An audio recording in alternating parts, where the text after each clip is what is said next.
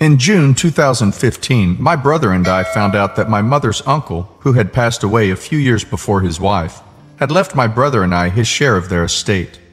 This includes their Brooklyn home, as well as any remaining funds after all others on the will have been paid, as well as debts and outstanding taxes. The estate is split three ways between myself, my brother, and the aunt's nephew. The estate attorneys have informed us that the entire estate is worth about 3 million USD.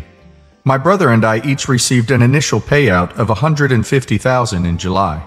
The attorneys are waiting to pay taxes, debts, etc. to disperse any more funds. The estate attorneys accidentally sent our checks to our parents' house, and this is where things got bad. My parents currently owe the IRS about 1,300,000 USD.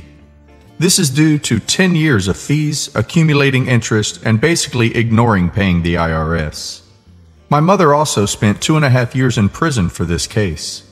Whether or not she is guilty, we can say for another day. In June 2016, my parents, who found out the value of our uncle's home, proposed a loan for my brother and I.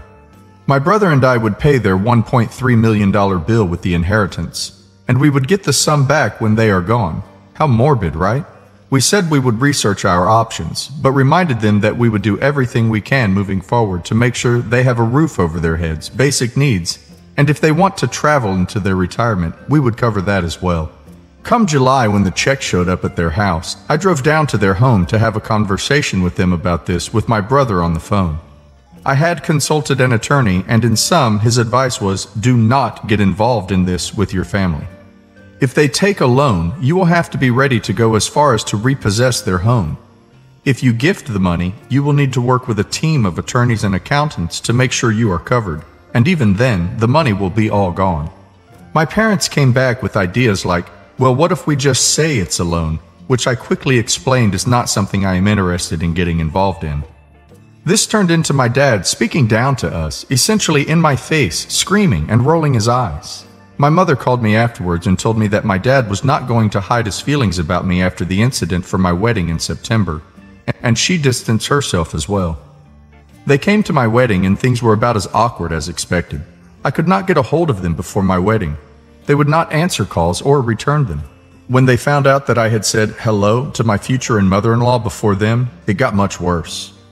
I was all around very hurt. I was ready to put everything aside and get on with the wedding, and I thought they would be excited for me. My husband and I paid for our entire wedding. In speaking with my mother afterwards, she was upset about X, Y, and Z. That she was a guest at her daughter's wedding. The photographer didn't get the picture she wanted. She never told me this until afterwards. And basically, things didn't go the way she wanted. I was very hurt, but again, I was ready to move on. Now, I think her hurt may have been her putting her guilt on me. She acknowledged my father, her husband, owed me a few apologies at this point, and she was not willing to challenge him on that. After our honeymoon, my parents called to get to business. They had decided that they would take the 150,000 USD from each of us, 300,000 in total, and with the remaining balance on their debt, they would take a loan from the bank on properties they have, over 1 million USD worth. This would allow them to pay the IRS, and they would take the remaining inheritance when it came through. I was a bit taken aback, as this went from a loan to this is the way it's going to go. This plan made me extremely uncomfortable.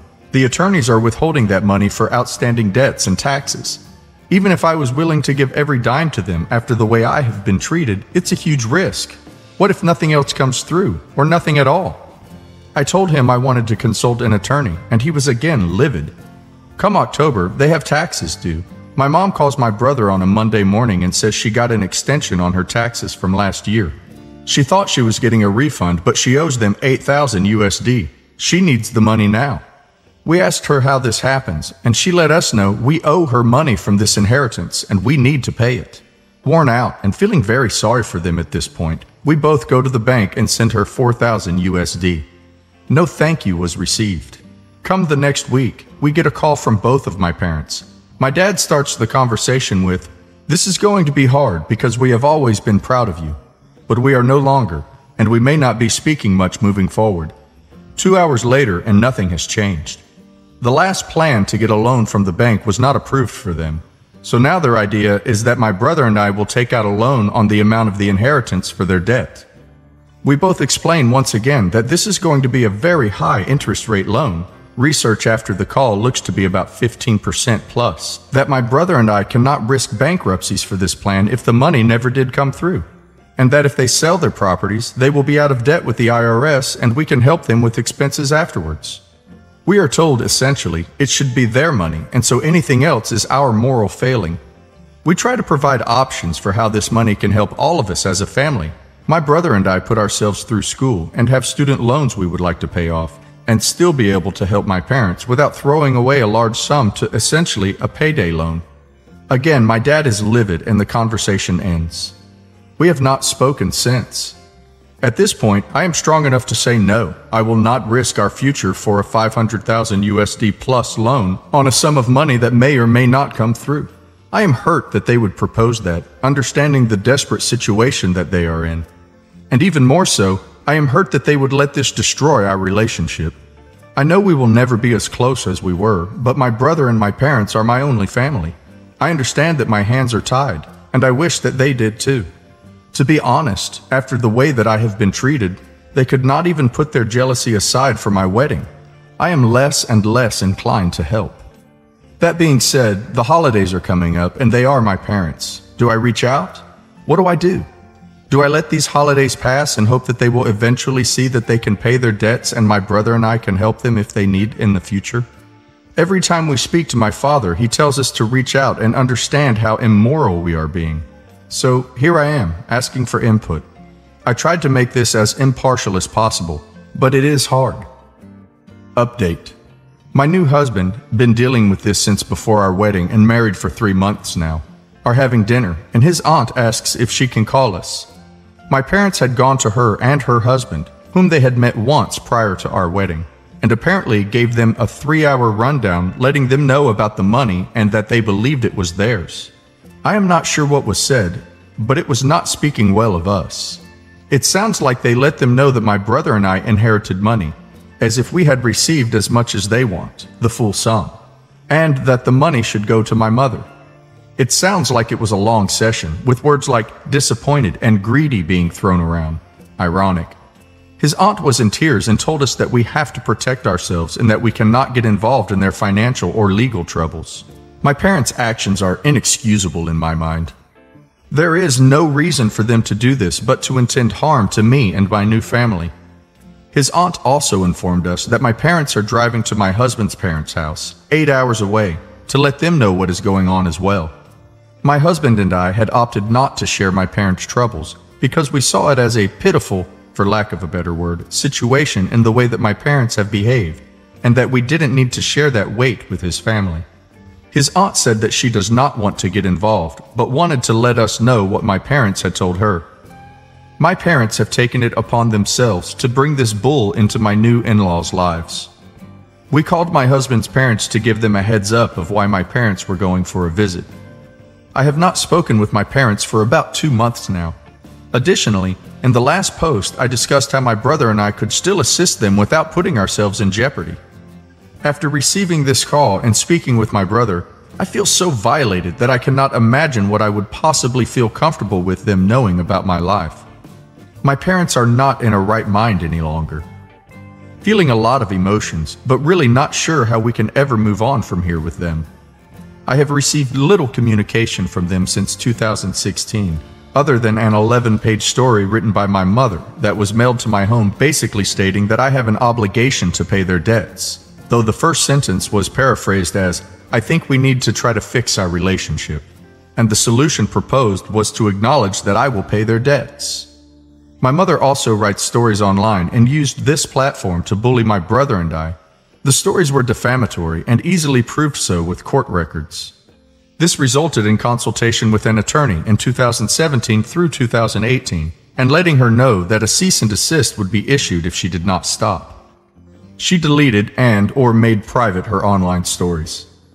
At one point in 2018, my father told my brother that we owed him money for a car he rented to help us move out of college in 2013. It all went desperate, strained, and all over the place, very fast. For additional context on why I may have a strained relationship with my parents, I posted a while ago on the background of this. Over time, my brother has had some very low lows with them. He communicates with them through text and phone. He lives in a different state. While I have cut off communication with them, he will often get into huge arguments with them, and then things seem to settle, and they will try to have a relationship with each other again. He is graduating from graduate school later this month, and while him and I had been planning this for a while, he let me know around the beginning of this year that he doesn't know if they will show up for his graduation. I was surprised that their relationship seemed to have developed to the point that they would even be invited. But it is his graduation. He has now let me know that it does sound like they are planning on flying out for his graduation. This has caused me a great deal of anxiety. I can see through public records that my parents still own four rental and commercial properties, live in the same home that they always have, and have every means to settle their debt if they choose to. The properties that they have are mismanaged. Some sit vacant and carry large tax obligations that they do not seem to care about.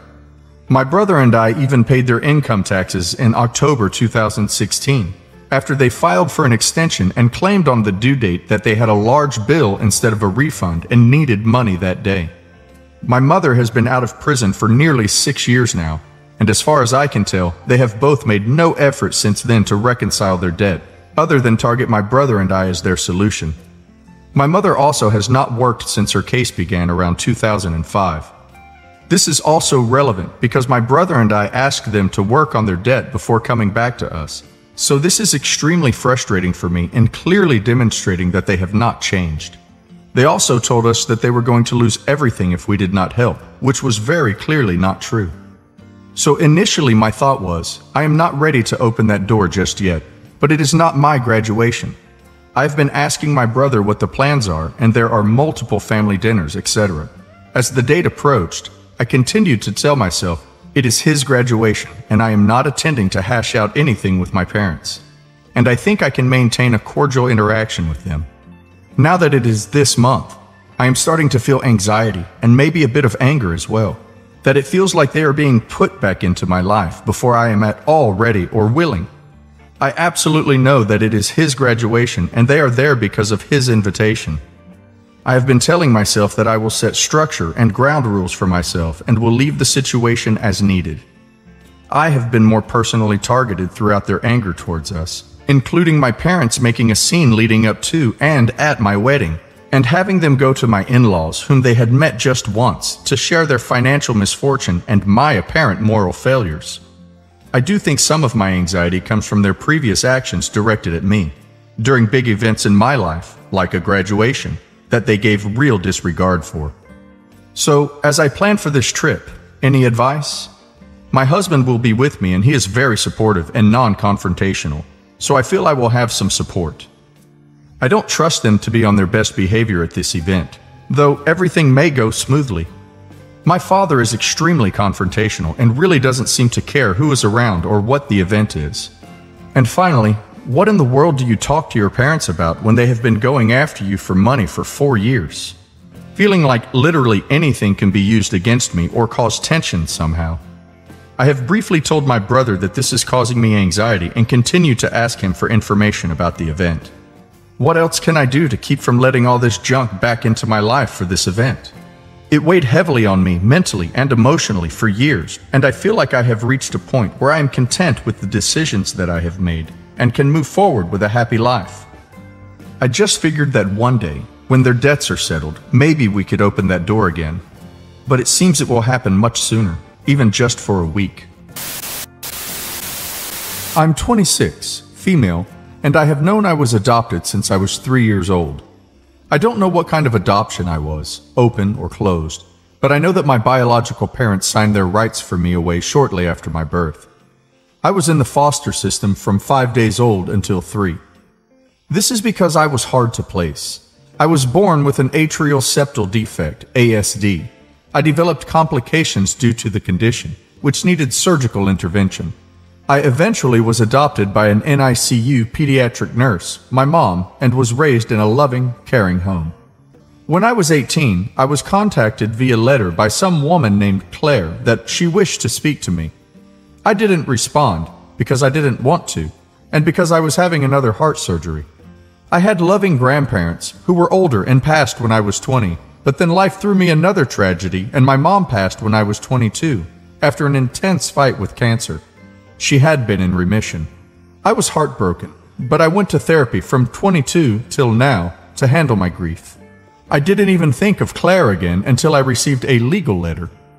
The letter basically detailed that Claire was my older sister via a biological father, and she had spent some decent money to track me down.